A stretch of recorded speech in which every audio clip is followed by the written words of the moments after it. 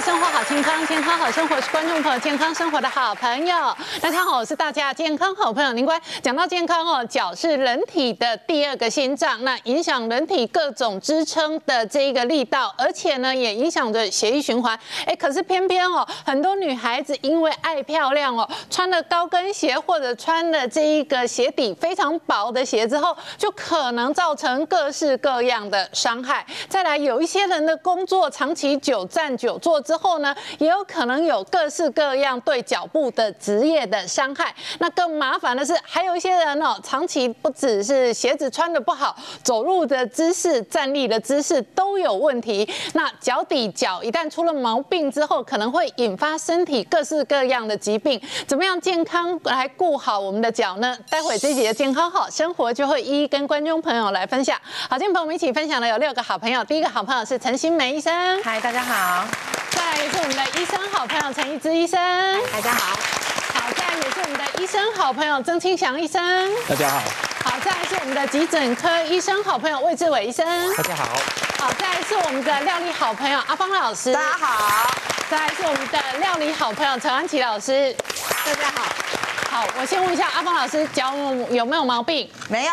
那你到录影的时候，到今天为止，你录影都这么认真，穿尖头细跟高跟鞋。对。导播，我们看一下，阿峰老师是认真的。阿峰老师连坐在这里哦，他只要录影哦，跟你平常走路来是不一样。走路你会有走路鞋嘛？对。录影工作你真的会穿细跟？一定会换鞋。然后这么多年，我穿高跟鞋的历史。快三十年了，对，然后呢？现在都撑得住，挺得住。年轻的时候穿更高，有啦。年纪大了，稍微有节制一点点，然后就是穿这样子。啊，你都没有不舒服吗？其实最疯狂的时候，我有分享过啊，就是电视最疯狂的时候，那时候有曾经一段时间是足底炎，对，足底筋膜炎加关节炎啊。然后呢，还有就是长期久站，我的脚跟也有长骨刺的现象。哦。但是基本上，因为我已经适应是。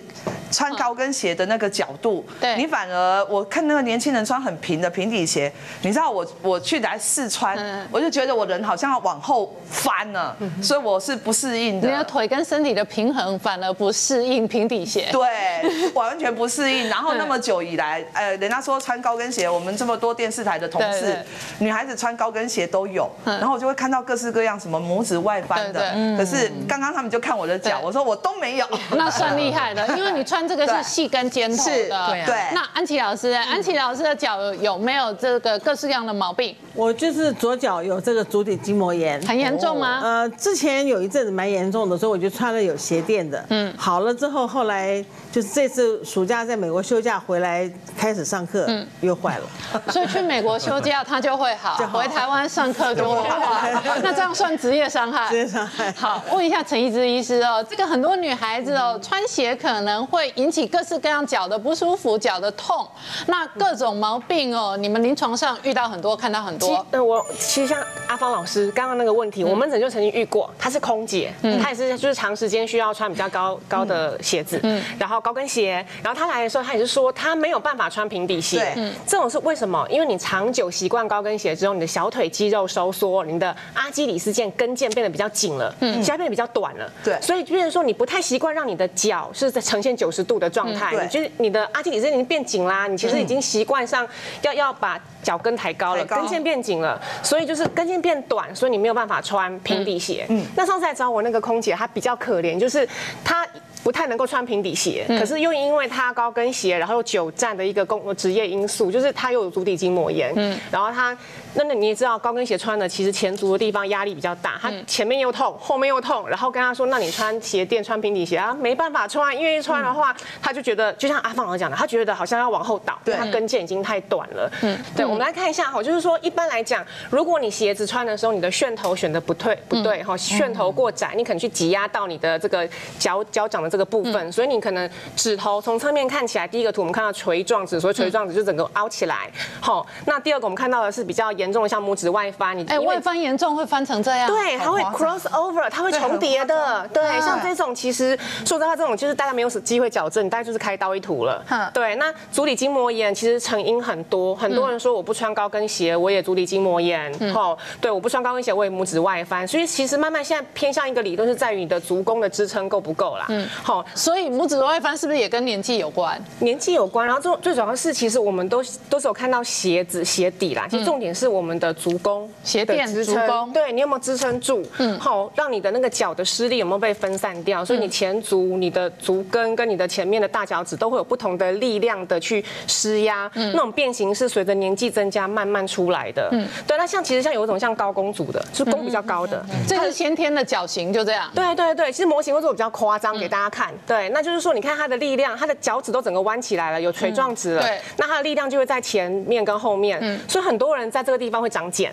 对对，那我们这个示意图里面其实不止长茧，我们我们有很多病人会分不清什么叫鸡眼，什么是像这里面其实还有点病毒疣。对，病毒疣就看起来上面有一点一点黑黑的那种细细粒状，但是剪的话通常是一片。嗯，好，它久了下来它也是也是会痛。嗯，所以穿鞋子除了鞋子的楦头、鞋鞋子贴于脚面的这个选择，它连带都会影响到我们这个大脚趾的部分，我们足弓的部分，我们足跟的部分。嗯，那医生我就有一个疑惑啦，鞋子都是 SOP 的标准版型，可是如果照你的说法，每个人足弓的角度不一样，对，那。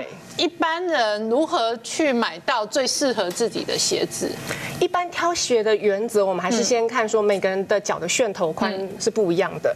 普遍来讲，东方人还是比较宽，所以其实东方人真的不太适合西方的那个鞋的版型。对，这一种就很西方的尖头的这一种细长版型。对，西方他们人的脚型通常是比较长，然后他们的脚板的宽度其实没有那么的宽。对对，所以我们东方人在选鞋的时候注意，就是你的楦头的宽度，你不要去硬挤硬钉，不要硬。挤太小的或者太尖的，对。那在鞋底的方面，就是如果鞋子就是格式化了嘛，然后都是这个样子，它鞋底就是平的，那你可以适当的加一些鞋垫，好哦，额外在内部加鞋垫。鞋垫的部分就是要有足弓的支撑，让你的力量服帖，好哦。来，我现在听懂这个逻辑了，加足弓哦，是让它这个施压跟受重的时候比较平均，它会有一二三点，它就不会像是你平平的时候。你就只有前面跟后面了，对不对？你你有足弓的服帖的话，你的力量被分散掉，你比较不会呃都是施力在后跟或施力在前面。嗯，对，那更不用说随着年纪增长，其实我们足跟的这个脂肪垫，嗯，那个口胸保护力量越来越少了。哦，对，所以有一些人年纪大了才有足底筋膜炎，那个可能跟哦到了一定年纪的老化也有关系。那刚刚讲。鞋子其实哦会影响到足部的健康。那鞋底太薄或者是楦头太窄的话，也有可能压迫的是足底的神经跟血管嘛。没有错，在这里要提醒这个电视前面的观众朋友，一般来讲，我们如果听到那个脚痛啊、脚底痛，大家都想到足底筋膜炎啊、关节炎，然后肌肉的扭伤、拉伤，这都是一般的。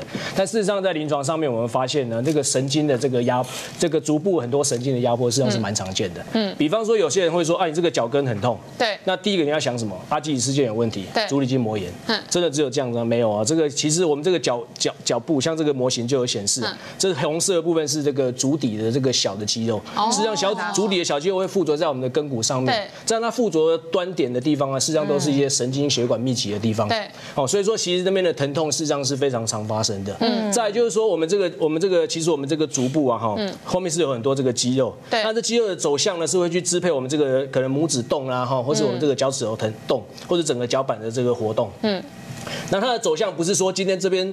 这一条走外面哦，等一下就一样排排排排外面走，不是哦。这条走外面，可能他等一下要支配的是拇指，他要穿下去走，他就插对了，然后从这边插到那边去。嗯。那另外一条呢，他可能是要管那一边的，所以要从这边插到那边去，那中间就会交叉。嗯。那交叉的过程当中，事实上也会压迫这个很表浅的这个神经。嗯。所以在临床上，事实上是非常非常常见的。嗯。哦，所以这个要提醒大大家稍微注意一下，就是说，哎，不要说脚痛啊，就以为说啊，可能就是很单纯的问题。嗯。事实上也有蛮复杂的问题在里面。对，就如果你的脚不舒服，要厘清到底。问题的根源在哪里？不过很大一部分跟鞋子这个穿的这个案例很多，魏医师就遇过女孩子高跟鞋穿太久了，竟然还会搞到骨盆腔发炎啊。对，其实这是有研究所提出来的，因为我们知道说我们穿了高跟鞋之后，其实你的身体其实都会自然呈现一个比较优美的体态。嗯。例如说你穿了高跟鞋之后，你脚后跟往上抬之后，你会挺胸，你会缩小腹，会提臀，所以你整个人虽然。比例变得很优美，可是呢，你身体的重心是往前压的，对那你的肌肉就会做一些不正常的使力，例如说你的腹部、你的会阴部的肌肉和大腿的肌肉，其实它就会处处在一个紧张、紧缩的状态，所以其实会去影响到我们的骨盆腔里面的血液循环。所以有去研究我们女性骨盆腔里面的器官是什么？生殖泌尿系统。所以其实常常因为这样子会造成你容易尿失禁，甚至有些人会性欲下降。还有研究会指出你骨盆腔发炎的机会也会比较高。嗯像我在急诊就遇过一个案例，就是一个很漂亮的女生，她穿高跟鞋去 shopping，嗯。那她出了那个精品店之后，其实那个精品店有个门槛出来会有一个小斜坡，那斜坡很小，但是她没有注意到，她一跨过去脚一站，重心不就往前倒。那正常偶像剧里面一定会有一个人来给她公主抱，，嗯 没有。可是是现实生活没有那么好康啦。对她来的时候刚好是一个老阿伯在前面这样子，结果她撞到了那个老先生之后，他们两个就跌倒了。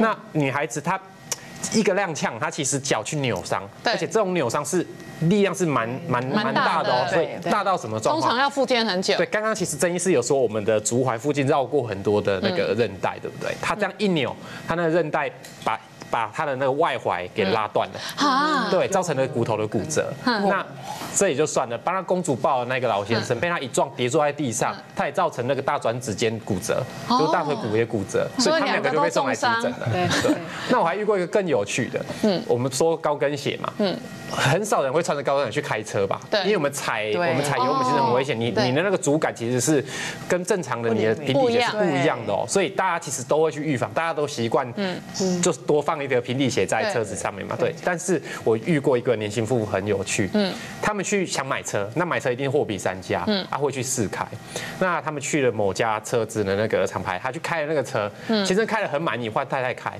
那太太呢，因为身高不高，她不穿高跟鞋，他穿恨天高，他也是那个底也是蛮高的，但是他不是那种细跟，他想说这样踩应该没问题，没想到他们在试乘的时候遇到红灯，他要去踩那个刹车的时候，他的恨天高那个鞋底刚好卡在他那个刹车下面那个缝隙，结果他踩不下去，哦，就所以没有没有办法没有办法。不过还好，因为他他是开人家的那个车，他不敢开太快，就只撞了前面两台这样子。啊。对，所以本来要货比三家，后来就买了那一家这样子。就穿高跟鞋开车真的危险。其实我在这边补充一下哈，大家都觉得讲高跟鞋，高跟鞋，就穿高跟鞋的时候会比较不稳，是因为它的跟是比较细。对有一种鞋叫蟹形鞋，对对，整块都是木头的那种鞋，你穿起来就觉得好像比较稳。对但是楔形鞋的问题是它会改变你的下肢步态哦，你会好像踩到一个那个木木板那个跷跷板一样，你会发现你穿楔形鞋走路的时候，那个脚跟的力量是更大的。对所以我也遇过穿楔形鞋足底筋膜炎的，因为你下次如果你有机会穿女生穿鞋楔形鞋走路的时候，你自己会发现你改变了你的下肢步态，比走好像走起路来比高跟鞋更难看的感觉，因为你会觉得你自己在在一个跷跷板上面这样滚啊滚啊往前走而。且那一类楔形鞋，如果前高后高的话，一不小心跌倒就是会扭得很严重的那一种。那接下来阿峰老师就要来分享一个健康抗发炎的好料理哦。刚刚讲足底很多毛病都是发炎，然后其实你讲说你这个腿部伤害最严重的时候也是发炎。是啊，所以呢，呃，今天我们计划在寻找食材的时候，他就给我了一个意见，就是希望可以从很多人想说补胶原，那我就在想说，因为我自己是台南人，嗯。我家里最常吃的就是三百鱼哦，是我认为是可以补胶原很好的食材。对。那是不是很多胶质？今天我蒸了二四五五颗鱼头。哦。我把它放在保鲜盒，然后加了白开水去电锅蒸了十五分钟到二十分钟，嗯，拿出来放凉。你看整盒，它你看旁边都是果冻，哎全部都是胶质，哎，这个是丝木鱼的果冻是不是？。对，就是胶质。有没有这么夸张啊？你看有没有这么夸张啊？你是不是有自己偷加什么？没有啊，我才五颗哎，我能塞也就是塞五颗，我就倒到这样子九分满，电锅蒸完放凉了，冰起来，它就是这样。所以这个是鱼的鱼冻。对，然后再来就是鱼皮，这两者其实。很简单，好吃啊我们很好吃，而且哎，我没有加任何调味料，什么酒都没有。你要用辅具矫正到正常，吼，我这一定一大概是没有办法的，但是它最起码可以维持你的角度不要更恶化。B 群的其中几个成分，它对放松肌肉很有帮助。嗯，它其实真的就是一道顾膝盖、顾脚的好料理。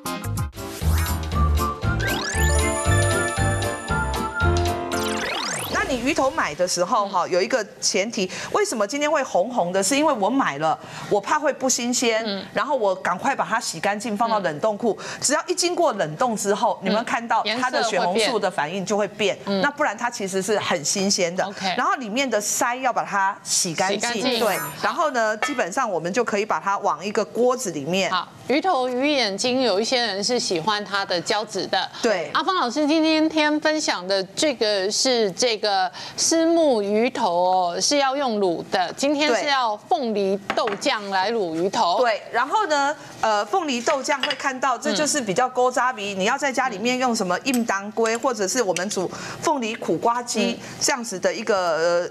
那个黄豆板酱，然后加上了凤梨去做的一个腌制物，好，然后它比较特别的新香料是我们一般煮鱼会想说只要姜，嗯，但是要烧这个凤梨豆酱鱼头，你一旦还要加上蒜头，嗯，然后呢喜欢辣的朋友，你可以放一点点的辣。味，好，然后鱼头没有什么油脂，嗯，你如果不放一点油，它烧起来会比较涩，嗯，所以我会在这里面放一汤匙的油，这是什么油？一般一般的空调的。油什么玄米油啊、橄榄油，通通都可以放一汤匙的米酒。米酒对，然后再来，我们就直接放水。好，然后呢，我今天还搭配了一点点这个番茄粒。好。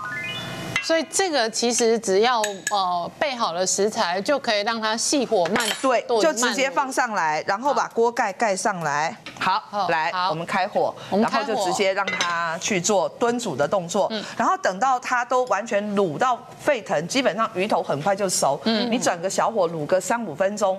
就可以上桌吃。等会我们让它慢慢卤。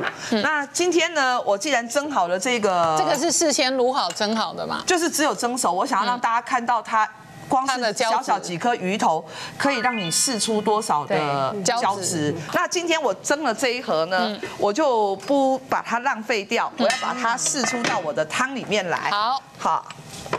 所以这个是简单蒸熟的鱼头。对。那如果只是单纯要吃原味的鱼头，其实哦，你就简单蒸熟，这样子也是非常好的。你也可以一锅清水就把它买很新鲜，你买它十颗，对，花你五十块钱，嗯，然后就直接回来煮一锅鱼汤，放个姜丝，嗯嗯，好好吃那个鱼头的鲜美，然后等会千万。记得就把那些这个鱼冻啊，嗯，通通把它那个鱼汤喝掉，嗯，那就是可以补到很丰富的胶质。好，然后你可以看到现在本来它都粘在一起，到现在还粘在一起，然后我们让它化开，它就把所有的胶质贡献到我的汤头里面。这一锅就是胶原蛋白鱼汤，对，胶原蛋白鱼汤。然后呢，有了它，我们就可以来煮一锅好粥。好，那我们今天还准备的就是丝木鱼的鱼片，是，然后我在。在这里面也加了一个比较丰富，在台南丝木鱼粥是比较简单，对，它就是米饭、汤水、鱼，然后呢比较没有放这么多，但是我觉得我们在家吃可以煮的丰富一点，嗯，所以我今天泡了一点点的香菇，好，再来我们放一点糙米饭，好，所以我们这个鱼汤跟糙米饭跟香菇可以一起下，对，嗯，好，然后比较特别的是我今天带了一整盘，嗯。看到鱼皮，对对，鱼皮，石木鱼皮，对。然后现在我们就可以把今天很丰富的这个鱼皮，嗯，然后这个鱼皮有满满的胶质，然后它很快，汤水一滚，很薄，就是它很薄，那所以它也会熟得快，很熟很快。然后呢，我们边做调味的时候，我把一部分的，我今天也加了在植物里面，我们蔬菜里面，你会有胶原的，会有胶质的。豆荚，嗯嗯，那个荚壳的部分，它就会有那个胶质。那我们今天我放进来，好，这个是甜豆荚，甜豆荚，好，对，让它增加一点蔬菜，嗯，然后也有胶质，好香哦，啊，闻到很香了，躁动。好，然后再来，我们调一点点的鱼露，好，那这样也有一点咸，对，咸度跟风味，对。然后我们煮鱼汤的时候摆姜丝，嗯，呃，会有清香的味道。可是当你拿来煮粥的时候，那个米饭的味道会压过姜丝，嗯，所以在台南煮鱼粥的时候，并不放姜丝，放的是蒜头酥。好，好，这很重要。这个是阿芳老师牌自制蒜头酥，就是蒜末把它这个炸成酥。对，然后这样一锅粥，然后最重要胡椒粉。好，胡椒粉，还有一点芹菜跟香菜末。对。然后白胡椒一定要加，白胡椒放上来，嗯，好放上来。然后呢，只要汤水一滚，因为鱼皮很容易就熟了。对，汤水一滚，我们最后把这个香菜跟芹菜末把它适当的放进来，或者是你放在你的汤碗里面，你打上粥的时候直接放上去提香，这样子这一锅鱼粥你可以看到它就整个就好。那我们同时间来看一下这一锅刚刚炖卤的这个凤梨豆酱鱼头，对它整个的那个感受，你就会看到它沸腾，哦，沸腾了，对，然后。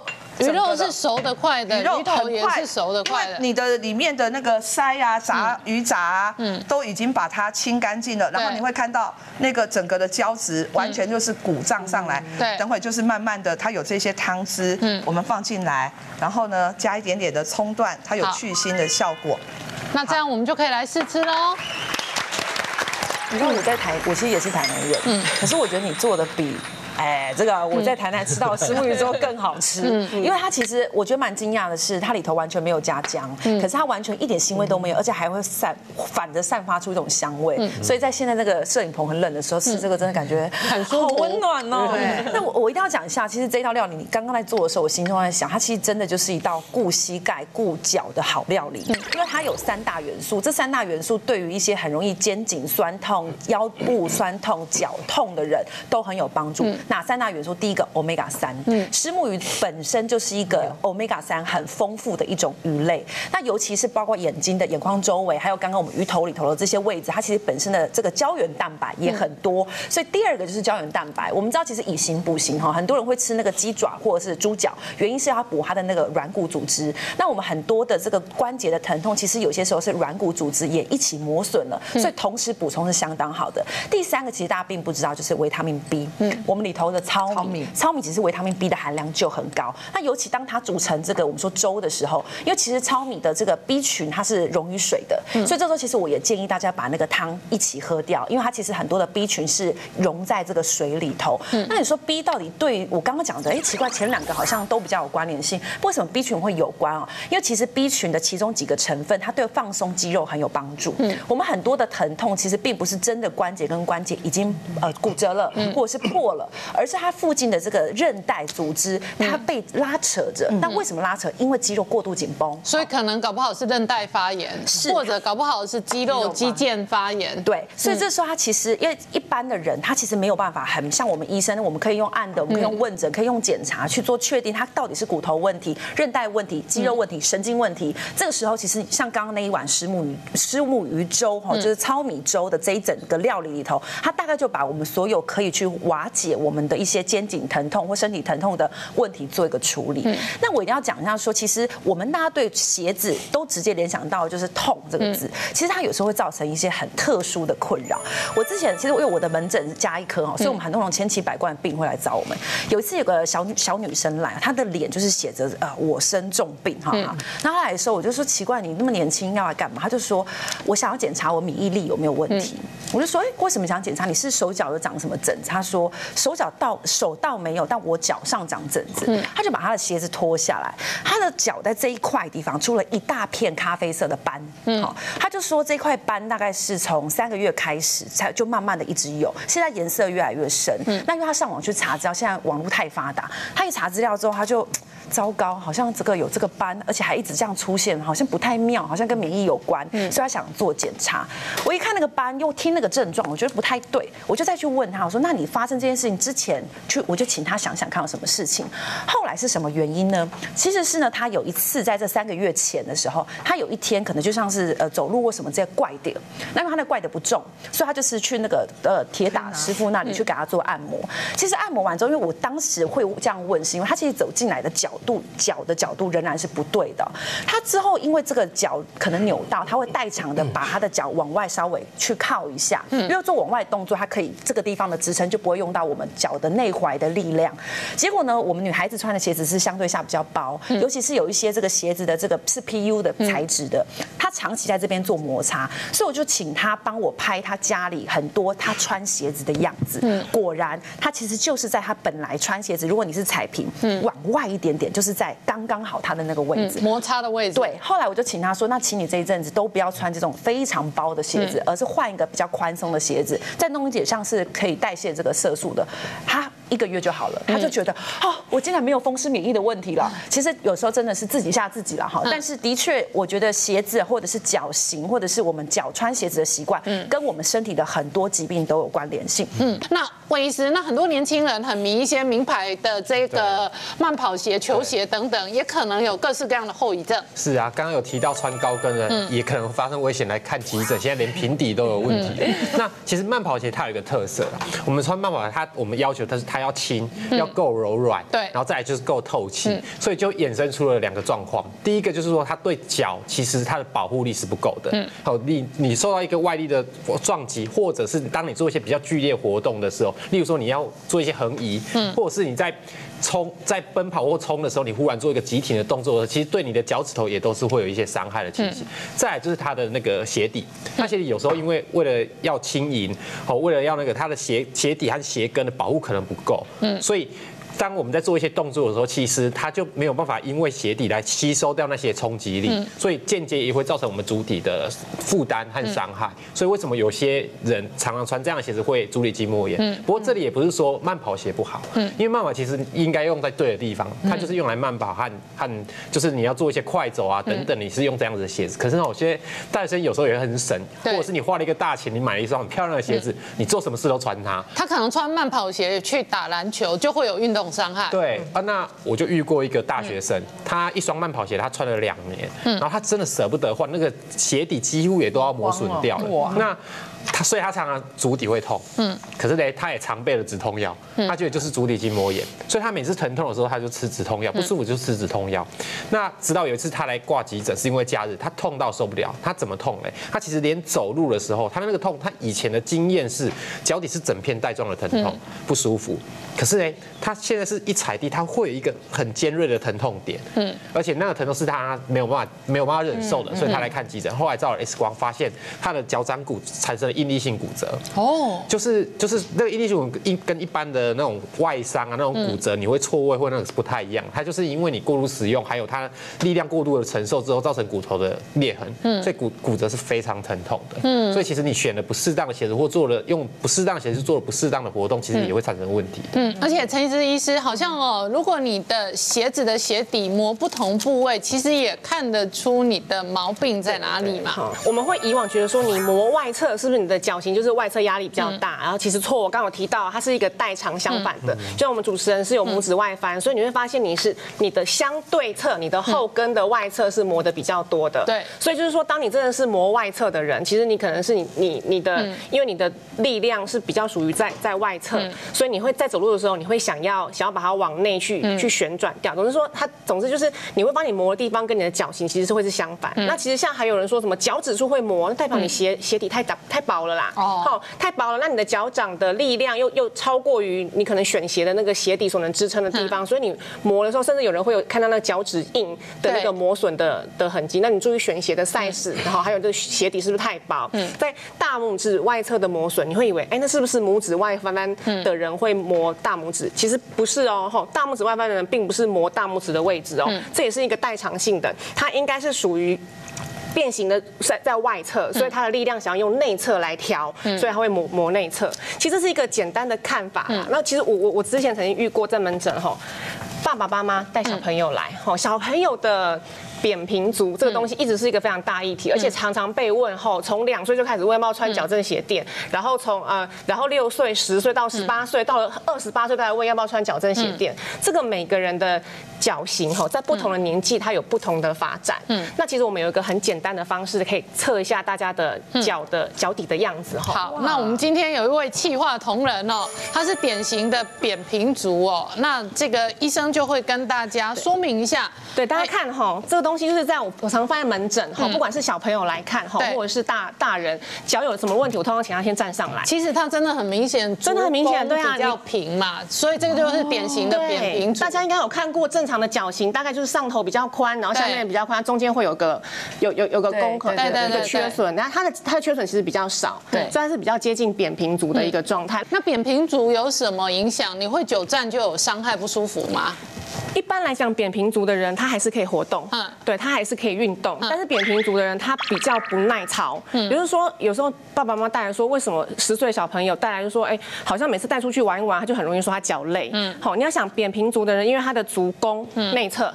是比较塌陷的，对，他的脚是有点内旋，内旋的问题的话，所以他会用不正常、比较费力的方式去走路、去运动，他的脚就比较容易疲累，嗯，所以就是他们就不耐站嘛，所以以前才会有兵役的一个一个条件出来说，如果你有扁平足，你就哦，你就可以免当对，因为你可能不耐站、不耐操这样子，哦，对啊，近几年的条件有更来越来越严苛的趋势。好，那医师也要跟我们的这个另外一个 model 分享一下哦，就是也跟观众朋友分享，比较一般正常的足弓应该是长什么样子，当然你就看到。中间这一块缺损比较多，对对，它的那个缺损可以看到皮肤的部分是相对比较多的，对。那这样的足弓的弧度就是比较接近一般的。多数的状况，大多数是这样。那我还是曾经有遇过，只看得到前面跟后面，中间根本没有任何连接的啊。那他支撑怎么办？他这种人就好容易拇指外翻，好容易足底筋膜炎。他的力量通通都在前面跟因为足弓，因为足弓太高的关系。对对对。哦。对。那有一些女孩子说，高跟鞋穿久了足弓也会高，是真的吗？因为我们的脚在高跟鞋里面，它为了要 hold 住那个力量，好，我们脚会往前滑。对。所以那，我们的足弓会很不自觉的。弓高一点，然后想要去 hold 住那个鞋子，hold 住自己的重心，所以很多女生她可能天生本来就有点高弓足，嗯，然后再来又长期穿高跟鞋，那个高弓足会越来越明显，就会产生我刚刚讲的只有前后有压有压力。那难怪这样子哦，她的脚的这一个状况跟施力跟这个负荷的重量哦，就容易有各式各样的毛病或者发炎的状况。好，谢谢陈医师。那接下来安琪老师也要分享一个健康抗发炎的好料理。好，那这边今天我来做一个橙汁鸡腿啊，因为现在马上柳橙的季节到了啊，那这个鸡腿呢，我们通常呃买回家之后再自己切几个刀口，去了骨是，请店家去了骨，我们就切几个刀口，让它比较有刀口的话，它容易熟。对，那我就只有稍微用了一点盐把它腌一下啊，因为今天我用的是橙汁，是柳橙的口味，我不喜欢给它太复杂的调味，点点油来带这个呃鸡皮啊。好，当然有的人说不用带不用油，但是我觉得有油煎一下这个鸡皮比较香。好。啊，哦这个叫做交叉。症候群，腰部会疼痛来找，哦，所以你就给他检查一下，哎，腰部都没有什么特别问题，看看他的脚，原来你的脚问题出在你的脚上，嗯，所以问题在脚，可是痛点在腰，对，它可以帮助我们抗氧化、抗发炎，一个叫做多酚类，一个叫做类黄酮，哈，它对于一些这个微发炎的状态，可能就可以有一点机会去做逆转的动作。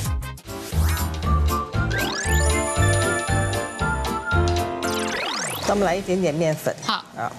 我们在皮的部分稍微撒一点面粉，撒面粉的逻辑是让它皮比较待会脆，是不是？对，脆，而且脆口，比较脆皮。哎，而且有面粉它比较香哦，好，比较香一点。那通常在家里面呢，大概一个鸡腿去了骨头的，我们需要煎到差不多有六分钟。嗯，啊，把它这个鸡皮面煎一煎，大概四分钟，反面之后再煎一个两分钟，然后我们就做的放在我们的 sauce 里面来烧。好，那今天这个 sauce 里面我们也来一点点油。好，那我这边先是用洋葱。来爆香。好，今天老师要分享的是橙汁腿排哦。嗯，所以准备的橙是呃新鲜柳橙，新鲜的柳橙汁。对，那还可以有这个柳橙切丁。哎，那这个寿司哦，稍微热油，现在哦放下去锅子内的是洋葱切丁。对，那如果说做咖喱口味的，我就会放一点大蒜来切丁。哦，那因为柳橙比较清爽，所以我们就不放大蒜了。嗯，好。那我们爆炒一下洋葱，嗯，那然后就来羊菇，来羊菇，羊菇也可以让它炒香，哎，嗯，然后来一些这个红杞菇，好，嗯，那这个菇都可以让它炒熟炒香，对，嗯，好，炒香的同时，请跳一下陈新美医师哦。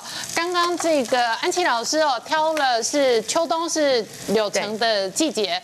那实际上哦，柑橘类的抗氧化的、抗发炎的能力也都蛮好的。对，其实呃，我们当然知道，所有的水果类它其实都含有一些部分的维他命 C。维他命 C 本身就是抗氧化、抗发炎不错的一个东西。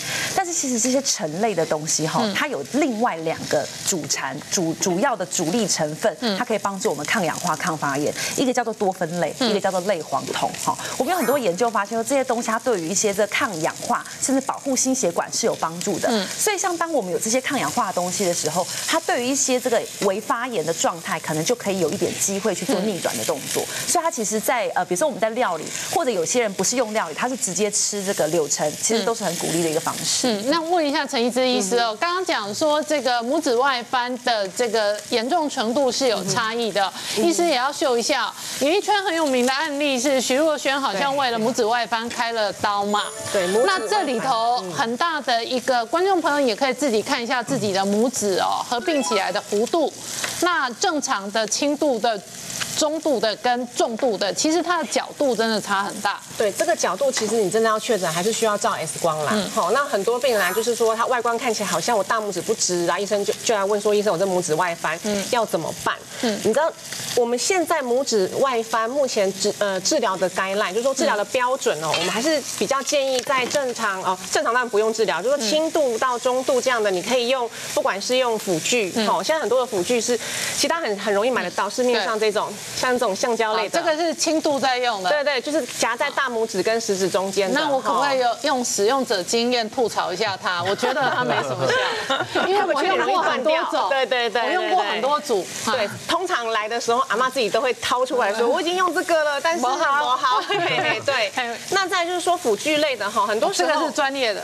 对，就是我们现在很常会见到的是说，它是一体成型，然后让你晚上的时候说要带着去矫正的。对。但是很多病人反映他带不住，他好痛哦，吼。所以现在就有，嗯，我知道它这个原原厂的是从德国，嗯，德国它的专专利的技术是让你的大拇这地方是可以活动的，所以你可以调一个比较舒服的角度。对，而且就是你可以穿在鞋子里面。很多人说他戴这个辅具他没有办法穿鞋子，嗯，好，现在已经可以研发到它非常的轻便、非常贴，然后非常透气、不容易感染的材质哦。你如果不是不是原厂的话，或者说你是呃外面的一些盗盗版货的话，你这些材质的话大概很容易坏掉，然后也容易会有一些。细菌滋生。哎，那我问你哦，这种矫正可以让轻度的拉回来正常吗？因为你看，你轻度是拇指弯了十五到二十五度，那可是正常是平的啊，是没有那么弯的啊。那矫正是可以把它的角度矫正回来吗？对，这也是我想要跟大家澄清的观念哦，就是说拇指外翻基本上你要用辅具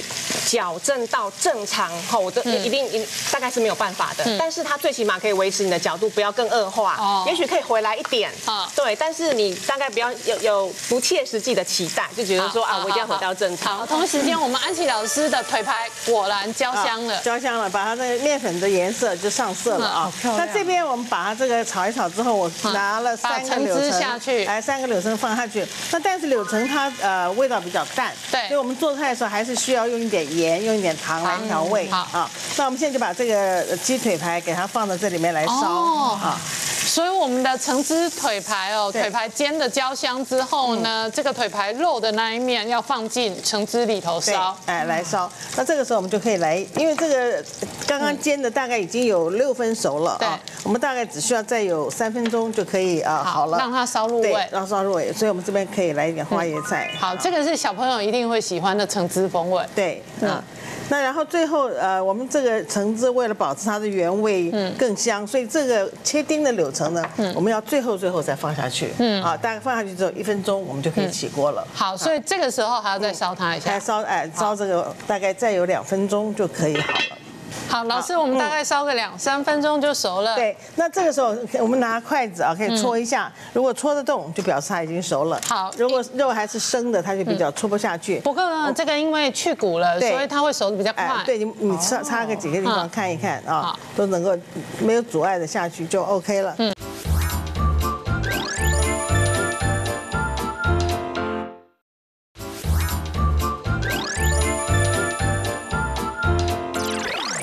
我们最后把这个柳橙块啊，柳橙粒放下来。好，那我们就来试吃哦。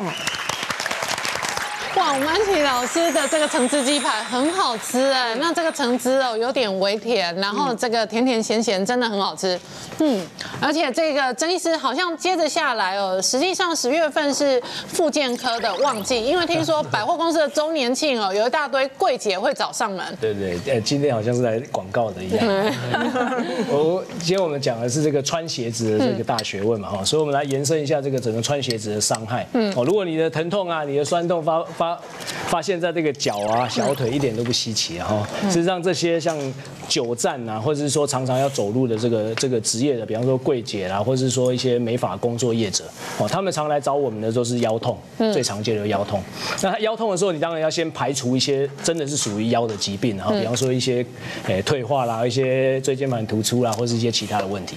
但是呢，这中间其实大概有三四成的病人呢，就是我们今天谈到的这个主题，它实际上是足部的这个结构的问题。刚刚我也有讲过，这一路会往上，会造成我们的这个膝盖的内旋，造成我们的大腿的内旋，造成我们的骨盆的前倾。好，所以我今天要提出一个概念，就是这个。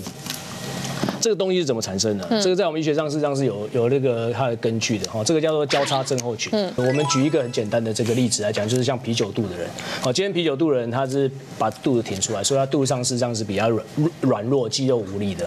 那他的对侧呢，就在屁股的地方也会相对的是是软弱的。好，所以我们就看到这个 weak 就是软弱，然后所以肚子跟着我们大屁股是软的。那什么地方会硬呢？就是你那个腰部的你的你的相反边哈，我们肚子的相反边就是我们的背嘛。好，所以会造成你的背肌。我们在医学上叫做这个诶过度的这个这个 lordosis 啊，过足诶那个腰部的这个角度过度的的增加。那这你想想看，东西如果一个 C 型如果过度增加，它中间的软组织实际上会挤在一起，哦，实际上是过度会非常的紧。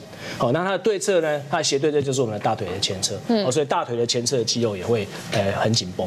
哦，所以这一类的病人呢，他今天来就像我刚刚跟大家报告，就是说他腰部会疼痛来找我们，哦，所以你就给他检查一下，哎，腰部都没有什么特别问题。看看他的脚，原来你的脚问题出在你的脚上。嗯，所以问题在脚，可是痛点在腰。对，而且很多人腰酸背痛一辈子都医不好，都不知道问题的根源在哪里。是是是是是，所以这个很重要，提醒大家稍微注意一下。嗯，那问一下魏医师哦，这年头还有很多人哦，封路跑，那有一些人拼什么半马、全马，跑老半天哦，这个脚如果没有顾好的话，各种毛病也可能跑出来。对啊，这边就是提醒大家所谓的退化性关节炎，尤其是在我们的膝盖，因为我们人是一个直立的动物，好，所以其实我们只要任何的运动，它是站着的，其实我们膝盖的负担都都有一定的比例程度。那所谓的退化性，它关键就会有两个东西，第一个当然随着我们年纪的增长，它的退化一定是会慢慢的增加。那第二个就是使用，你过度去使用它或不当的使用它，它也会增加它的耗损。好，我这边就提到一个四十岁的那个，他是一个企业家，那身体是身身材是有一点点肥胖，其实我们肥胖是很多心血管疾病的危险因子。他在四十几岁的时候就中风。嗯，可是他当时处因为处理的快速，所以他后来可以恢复到像正常人一样的生活。那从此以后，他开始注重自己的健康，嗯，包含饮食和运动。那他其实很喜欢夜跑，嗯，因为在晚上跑步跑步的时候，他可以去放放空放松，然后去思考一些东西。但是他忽略一点，就是他认为，哎，我就是慢慢的跑步，所以他没有，他几乎不太做什么暖身的运动，嗯，哎，所以其实长期下来，他开始。右边的膝盖出现了问题，直到有一天早上，他一起床的时候，发现嘿，他的右边的膝盖不太能够动，除了发炎疼痛以外，他觉得不太能够动。然后他当当时正要起床的时候，肌肉也不太能够使力，结果他就整个跪跪跪到地上去。那送来急诊室才发现，他整个关节已经是不只是退化，而且发炎的是蛮厉害的。他后来经过一段时间的治疗之后，还是去换了关节。嗯，哦，所以这有一个关键哦，他才四十岁。对对，其实我们一般来说，不好意思哦，换一个关节。可以撑几年啊？大概平均十到十五年。那你刚讲他才四十岁，十到十五年，意思就是说五十五岁再换一次吗？是啊，是啊。那七十岁再换一次吗？那没完没了哎。所以你看，我们现在退化性关节，第一个就是年纪已经往前面提了，就是关于你的不断的使用，或者是你没有做好暖身，没有去保养它。还有一个很有趣的发现呢，我们卫福有调查，我们其实六十岁以上的男性，大概有六七成会有退化性关节，就是膝关节，你会被退化性关节所扰这样子。可可是我们女性其实一样是六十岁，可是六个里面就会有五个会有这样子的问题。哦很高其实当然，女生和男生在先天上构造不太一样。对哦，像女性荷尔蒙啊，还有我们的肌肉脂肪的比例，造成她的膝盖膝盖承受支撑力其实比男生更不足。嗯，那还有一点有趣的是，我们男生和女生还有一个最大的差异，就是我们女生上厕所，嗯，她其实平均一天会比男生多蹲或或坐这个姿势，使用膝盖的频率会高。所以这整个其实姿势是伤膝盖的哦。对，没错，哦没错。所以其实造造成说，我们女性会比男性嗯来发生退化性关节的比例高了一些。嗯，好，那节目最后陈医师也给观众朋友一个健康小叮咛。因为今天我们谈了很多了哈，其实相相信很多人都有一些足底筋膜炎，或者是有拽到脚、扭到脚的经验啦哈。大概三个大重大步骤哈，请大家一定要记得。第一件事就是要了解自己脚的形状哈。我们刚刚其实有很多的检测，就是看你是呃呃扁平足，你是高足弓还是你是正常的足弓，利用这些方式先选择一个对的鞋子，还有对的一些走路方式。第二个，假设你今天的脚已经在发炎的时候，第一件事情休息。嗯。第二个口诀叫先冰后热，好，就是刚刚其实陈医师有提到，在我们发炎的时候，你先用冰敷的方式去镇定它发炎的地方。如果这时候你反做热敷，反而会让你发炎的地方肿得更大。好，所以先让它冰敷镇定之后，哎，几天后已经不再热、不再红的时候，改成热敷，因为热敷可以促进血液循环，会帮助你本来扭伤的这些组织可以比较快的达到修复的作用。嗯，好，谢谢医生的叮咛，也谢谢我们这么多好朋友分享。我们今天分享的健康好料理的食谱跟做法，也都会铺在年代马祖台健康好生活的脸书上面，提供给观众朋友分享跟下载。我们的荧幕左下角在节目播出的时候，还有一个 QR code，这个 QR code 欢迎我们的忠实观众跟粉丝们扫描 QR code 加入我们的 LINE 的官方节目账号。那健康好生活，我们下次同一时间准时再见拜拜谢谢。